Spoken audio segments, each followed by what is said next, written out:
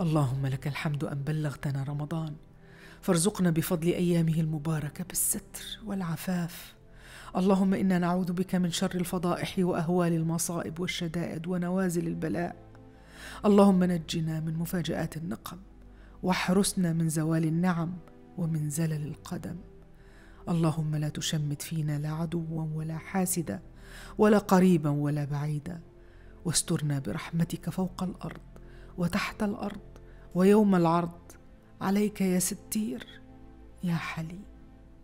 وصلى اللهم على سيدنا محمد وعلى آله وصحبه وسلم تسليما كثيرا.